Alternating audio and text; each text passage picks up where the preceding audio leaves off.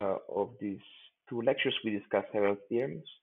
And um, in the second part, I would like to describe uh, how to apply these theorems in uh, several contexts, in particular, several models that are usually used in complex systems.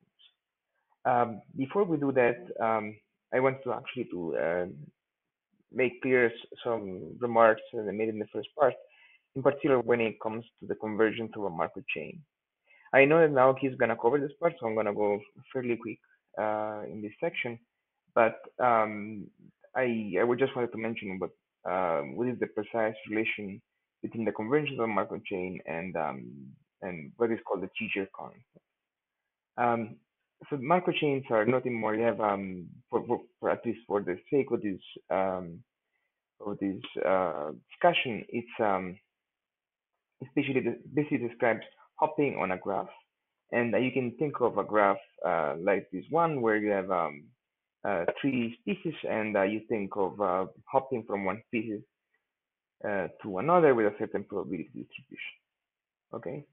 if you look at a random walk, um, basically, there are several ways you can do this. Either you do it in continuous or in discrete time. Um, and uh, something you might ask is how fast, uh, for the continuous type process, how fast is the uh, system going to converge to the stationary or asymptotic state? Um, there are several ways of doing this, but uh, if you look at the, if you diagonalize the exponential matrix, you can see that basically uh, you're going to have um, different rates um, uh, different eigenvalues that actually control the convergence. Um, it's not too hard to see that then for the continuous process, then the convergence time must be the logarithm in the spectra or the absolute value of the spectral gap, which is what uh, we were discussing yesterday. In the case of a discrete um, or not continuous time, but the discrete steps Markov chain, then um, you can actually make a bound of the following form, which is uh, the logarithm disappear, and then you're left with the inverse of the absolute value of the spectral gap. Um, there is a constant which um, um, I know it's in the it's discussed in the lecture by Naoki, but the constant is actually um, the proportionality constant of this bound. It's uh, extremely hard to calculate. Usually, this, is called the Cheeger uh, constant. Uh, something I wanted to mention is um, there are some techniques actually to use some very basic um, physics um, to actually study the convergence of, um, of a Markov chain. Uh, and in order to do this, let me define um, the hitting time. Okay, uh, let's suppose you want to go from um, a node, uh, let me call this node A, from a node B. Um, then how you know how many steps uh, for a discrete Markov chain um, how many steps will it will you need in order to go from A to B? Okay, and now define also what is called the commute time, uh, which is actually the time that it takes for for you to go from A to B and then from B to A. Okay. Then um, you can map basically the problem of um, this commuting time to a resistive network or electrical network.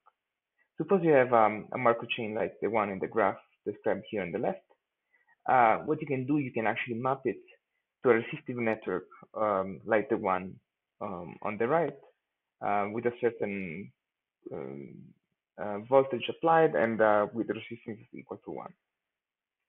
Then there is a beautiful theorem that actually tells you uh, that the commuting time it's uh, bounded um, um, from above to, to, to basically the effective resistance between the nodes A and B. Okay, and uh, in order to see how this uh, can be applied, let's make a, a very simple example. Suppose uh, you, uh, this is uh, your Markov chain, it's a very trivial one. Um, you want to go from A to B and B to A. Uh, what is the commute time of for you to go to A to B? Clearly, this is 2. But let's make it a bit um, um, a, a, bit less trivial in this sense. Let's assume you have several ways of going from A to B. Okay, your in principle, um, there are several ways in which you can go from A to B. You can go from any of these uh, resistances, so to speak. Okay, so how can you show that commuting time is still two? Well, we know the rules for the resistive network on how the effective resistance can be, can be calculated. Um, and uh, it's not too hard to see that actually um, the committed time in this case is exactly equal to 2. Um, so basically, if you have a resistance in parallel or reduce weight um, to go from A to B in one step, um, the effective committed time does not change. Um, why is it, is it important, the committed time? So this is a way to actually check uh, or bound ergodicity uh, because um, for in order in order for ergodicity to be valid, which means for you to reach a unique asymptotic state in a Markov chain, um, remember that we mentioned the strong uh, connectivity for the graph, which is a, the possibility of you going um, from any node to any node um, in a finite number of steps. Of course, if you have a committed time which is infinite, then uh, effectively um, uh, you, the system is not gonna uh, commute um, relax. Um, something I would like to mention um, as an application of the spectral methods, and um, this is expected, is uh, basically the theory of dynamical systems. In particular, dynamical systems close to a fixed point. Suppose you have um, an equation like the one in 27, um, and suppose that you know a certain configuration uh, or point y in the phase space of this dynamical system, where you know that the dynamics um, is, uh, uh, let's say, it's an equilibrium or an equilibrium point for your dynamics. So f of y star is equal to zero. Um, then uh, what you can do, you can introduce the Jacobian of the matrix close to the fixed point, like in equation 29. Um, and if you ask, uh, for instance, uh, what uh, what application this such a fixed point can have, uh, one example is, uh, is going to be in Jacopo Grilli's um, lectures on stability of random matrices. So you can always think of equation 27 as equation for a certain population of species um, that are close to the fixed point. And um, here I'm gonna probably skip talking about uh, Robert May result, but basically Robert May result is a way of uh, proving that um, or showing that uh, if you the size of the matrix uh, or the number of pieces in your uh, system is big enough, basically you um, you can drive your system away from a stability point. And this is based, based on the idea that the matrix can be random or a random ecological Okay. Um, so there are some ways in which this simple model can uh, actually describe, uh, linear model can describe certain properties of uh, species and the ecological networks. Uh, but what I want to discuss is rather uh, the, the stability of uh, general stability properties of this equation. So if you close to the stability point, um, the, the the dynamics of uh, perturbations are going to be described by something of the along the lines of equation 30, where uh, here I've integrated the dynamics and I assume that um, basically is exponential. So you see that this exponential is very important in many areas of um, dynamical systems. Um, you can slightly generalize this linear equation with a forcing term, okay? And you can show that, uh, like in equation 51, where the forcing now is a vector, um, let me call it U, which is a, an external external forcing to your system. Then um, you can solve the system via Laplace transform, and it's not too hard to see that actually the equation, the solution to this equation is uh, the one in um, the equation 51 is the one in equation 33. Okay. Note that um, here I've introduced again the um, exponential matrix um, E to the AT, um, which um, you, you can show that um, there are certain Laplace transform identities for which relate basically the exponential of the matrix to the um, uh, resolvent of the matrix A, like in equation 54. Again, this shows that the resolvent is important. Um, and most of the lectures or most of the topics on the second part is going to be related to the resolvent. Um, one uh, thing that you can show is actually um, exactly what I was saying, that uh, the exponential is, uh, if you write explicitly the Laplace transform, you can actually um, use a Mellin inverse and show that actually the exponential has an exact formula um, in terms of Cauchy residues, and which is the, the one of 30, 35. Um, what's interesting is that um, basically the spectral properties of, um, of the resolvent basically directly translate into the asymptotic um, properties of uh, the, the, dynamics for linear systems. Um, note that um, if you have a finite uh, uh, dynamical system with a finite amount of uh, um, of uh, say a vector of dimension n, um, this might seem a rather reductive um, property of a general dynamical system sense it, it will not describe all possible dynamical systems because it's a simple linear dynamics. Uh, but um, there is a beautiful theorem that um, is going to be mentioned probably in the lectures by Anatoly Zlotnik, which is the fact that uh, if you have um, a non-linear dynamical system, you can always map it to an infinite dimensional linear dynamical system, which means that equations like the one in 35 and uh, the ones in this slide basically apply apply to general linear dynamical systems with um, uh, non-trivial statement though that uh, actually instead of looking at a finite uh, matrices if you want you're looking at infinite dimensional linear operators. But still if you know the spectral properties several things um, that we said here are, are going to apply and so let's use actually this, this, fact and actually talk about continuous dynamical systems within this uh, linear approximation. Um, and something you might wonder is, uh, again, how to control perturbations uh, to your dynamical system. And, you know, in order to control perturbations, usually you want to make bounds, lower bounds and upper bounds to your um, vectors um, uh, at, let's say, x at that time, t. Okay, so you might want to find a bound on the on x of t, and just by showing how the dynamics uh, the discrete dynamics for XOT, you uh, can pull out the exponential.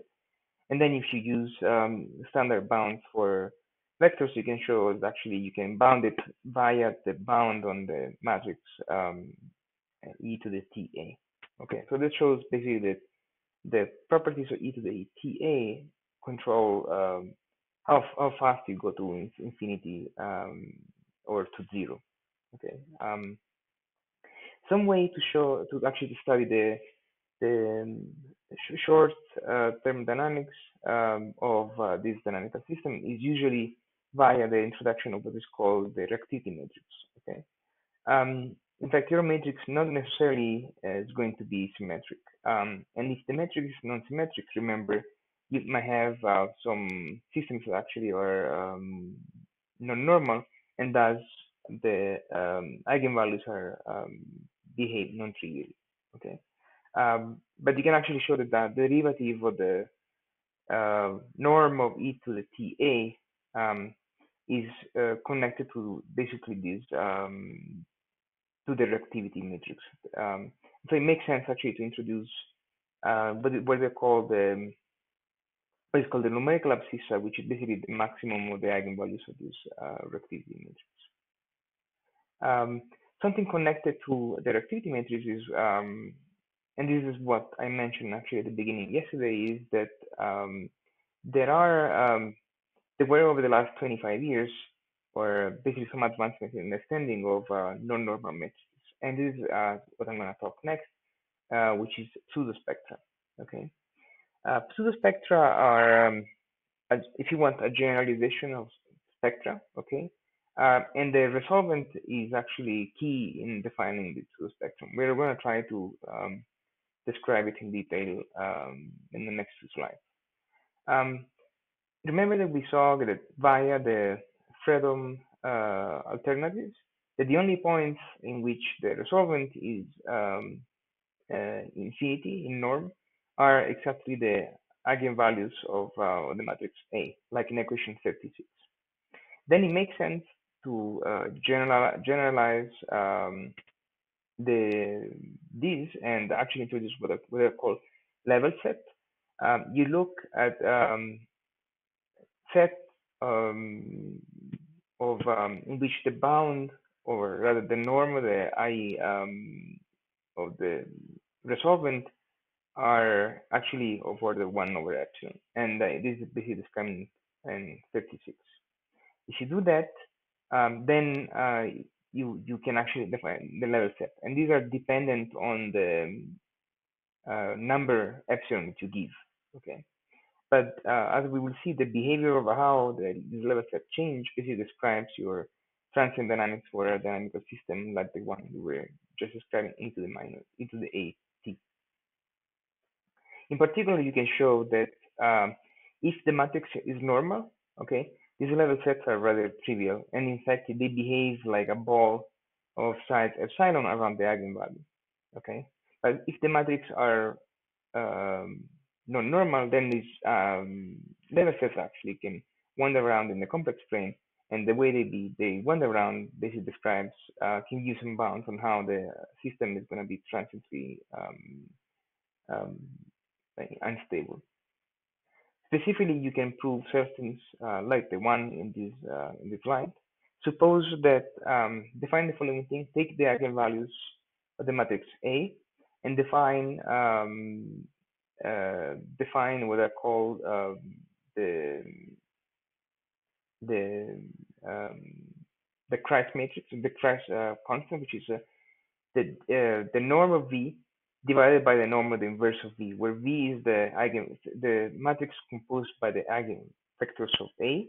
Okay, then you can show that um, uh, the norm of e to the ta, which controls, if you want, we will like we will before the perturbations to a matrix A, uh, is going to be bound upper bounded and lower bounded by um, like in equation 40 um, by two numbers. One is um, the Kreiss constant k of v, uh, kappa of v, and uh, uh something we're going to define very soon, which is the um, uh, pseudospectral abscissa defined as um, um, alpha of, of the matrix A. Okay. Um, you can also apply similar bounds to um, to uh, a to the n, and in this case, it's um, again um, it's a radial spectral radius of the operator defines how fast the perturbations can can grow. Okay, uh, to see the difference between uh, normal and non-normal matrices, uh, in the left um, picture, uh, you see the level sets given epsilon, which is uh, on the bar on the right, um, how the levels have changed as you take epsilon very close to zero. For epsilon very close to zero, basically you you see that these go around uh, and circle one, one point. This is exactly the eigenvalue of uh, this matrix. And as you take epsilon bigger and bigger, then these are gonna be of rods epsilon around the eigenvalue. If on the other hand the matrix is not normal, then you see that these level sets are initially uh, very close to the eigenvalue, but can wander around and go around all the eigenvalues. This is the typical properties, these level sets that I, I mentioned. So what's interesting is that um, you can uh, make bounds just based on the on the um, how how the um, the eigenvalues one sorry the level sets wander in the complex plane. In fact, um, you can lower bound um, the norm of e to the t um, a by um, the spectral abscissa. The spectral abscissa is basically the rightmost point in the uh, in the complex plane of this level set. Remember, these are dependent on epsilon, which means that, uh, for instance, in these equations, you you need to consider um, changing epsilon and checking where these um, um, most values um, go to. If these become bigger than um, uh, one, then it might be actually uh, your transient dynamics might be uh, very big, despite the fact that actually the eigenvalue can be negative. So in fact, um, this is to say that, and we're going to see a picture here, that despite the fact that the asymptotic dynamics, which is controlled by the um, eigenvalues of the matrix, so if they're all negative, eventually your perturbations are going to die off. But if the if the pseudospectral abscissa uh, is bigger than one, and, and when you normalize it by epsilon, then you might have some transient dynamics like the one you said before. The initial point in the dynamics is the, basically controlled by uh, the matrix we, defined, we had defined before, which is exactly the reactivity matrix defined here. So this defines the initial points. Pseudospectra define uh, the intermediate states um, of the you know your dynamics. Meanwhile, the um, uh, asymptotic behavior of the matrix is controlled by the eigenvalues. And again, this is a property of non-normal matrices. For normal matrices, you will see just an exponential fall off. Um, just to give you an idea of uh, how uh, different these transient dynamics can be, for instance, this is um, a normal matrix. You can plot uh, the norm of a to the k. You see that uh, at a certain k, you can have some the norm going very big and then coming back down. And this is a typical transient behavior. Okay. Um, all right. So now that we, we have described these, uh, probably should say that um, the, the spectra, you can find some details in the draft uh, of the book, but the original uh, work has been um, it's in the book by Trefethen. It's in the I'm gonna put them in among the resource uh, for this course. Very good. So here I'm gonna discuss about some applications. Um, in particular, uh, one application is uh, sorry, applications of what we discussed over the last hours. Um, so one, one comment is uh, input-output models. Um, these are widely used in regional economics, and they were introduced by Vasily, Vasily Leontief. Um, these are basically imagine uh, industrial network, which um, produces uh, some units of certain. Uh, think of a car, that uh, needs um, uh, wheels, and so you you have an interaction between uh, the car industry that needs wheels, and so the A matrix Aij in equation 42 describes exactly the fact that um, um, you uh, can um, buy wheels both to um, uh, customers or to the auto auto industry, and then if the system is at equilibrium, an equation like 42 must be satisfied, where di is um, the, the the need of the consumers, and aij describes how many wheels the car industry needs. Then uh, think of something like this. The I represents the final goods and so represents all the customers that want to buy um, some items. But I add intermediately, some industries might need some um, some of these goods. So you need to, in order to have equilibrium, you need to satisfy equation 42 between the number of output uh, goods xi and um, the final um, demand. Then in this case, if you go and invert this equation 42, uh, we go back basically to the resolvent.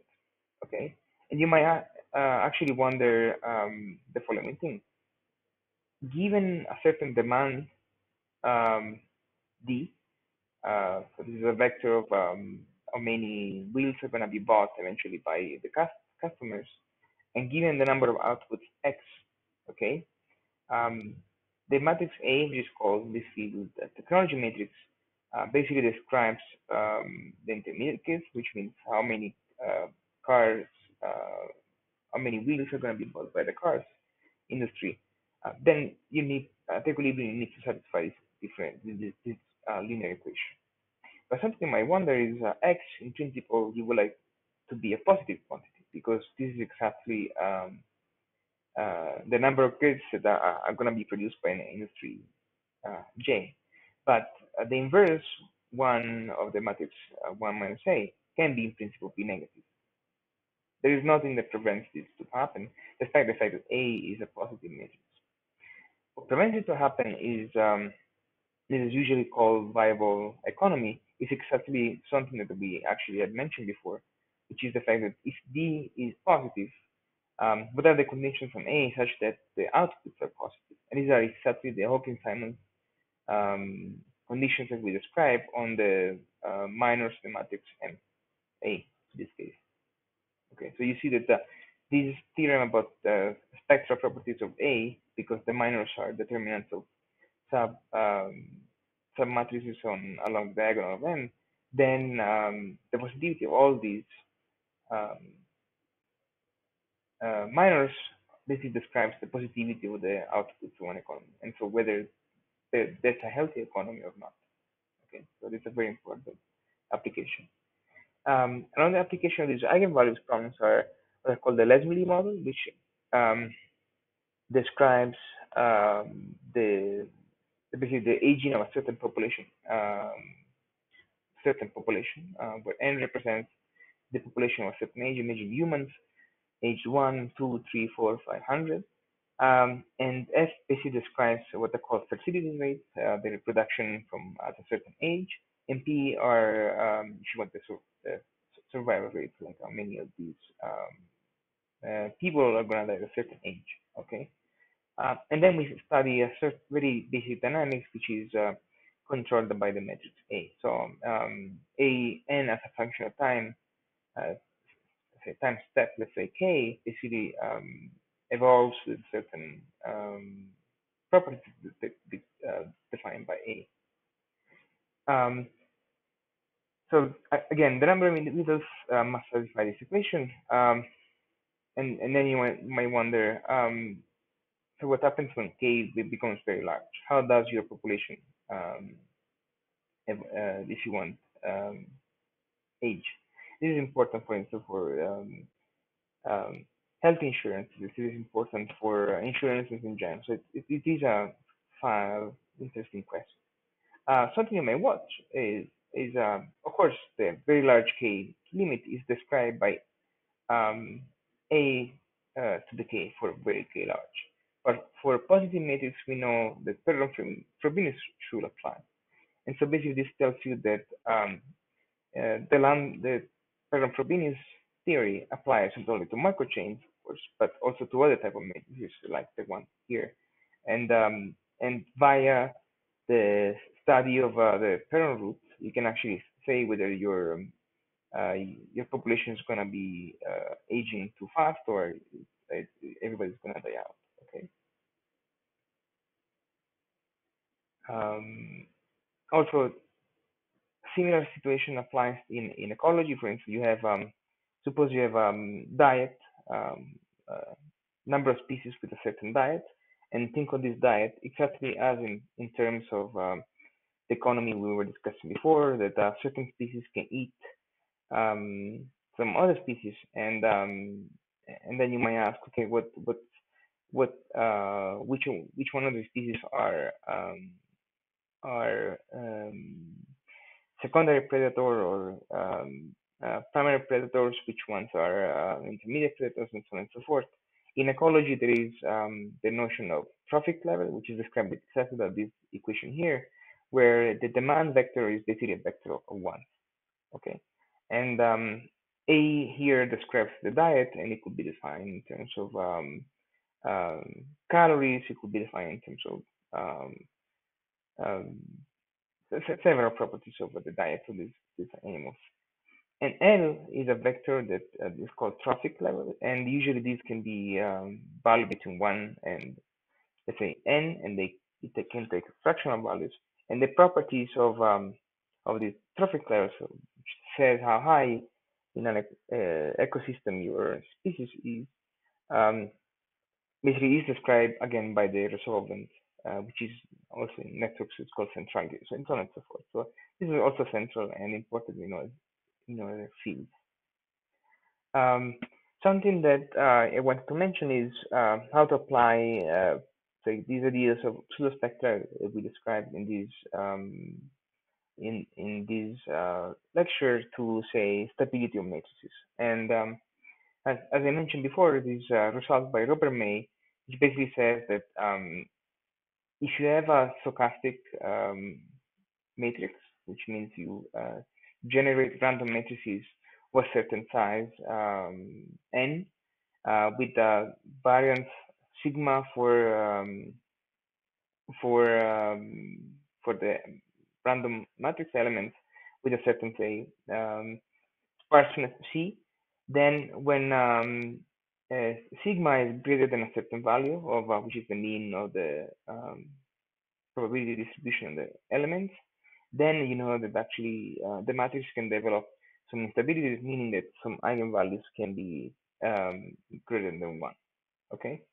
Uh, pseudospectra allow you actually to generalize this statement because uh, instead of looking at uh, stability only, you can look at pseudo stability for these random matrices by looking at pseudo spectral abscissa, um, like here on this graph, where uh, you see that actually, uh, despite the fact that uh, the black dots are certain um, uh, eigenvalues for one of these random matrices generated uh, at random with uh, size of size n, all the eigenvalues are very close to zero. Okay, um, sorry, I meant positive, not greater than the money for. They're very uh, close to zero, uh, but the two spectra abscissa here um, with epsilon ordered 0.1 basically can be greater than zero. Okay, so even if the matrix is technically stable, um, you can have some instabilities, transient instabilities in this um, dynamics. And uh, some work we did with uh, Philip uh, not very long ago is actually to show that um, before you actually reach this instability regime, you always should see some uh, transient instability regime, which is exactly um, sigma, which is smaller than the one predicted by May. Okay, so this is one application of this, this uh, spectral methods to pseudo spectral methods to random matrices. So this is the end of my um, lecture for uh, for today. Um, um, I want to give an overview of these spectral methods. Again, you can find um, a lot of results in the book. Um, I know I went very fast in these lectures, but I wanted to give an overview the type of uh, results you can um, uh, you can use in complex systems. Uh, this said, I hope you enjoyed the rest of the the school. have fun.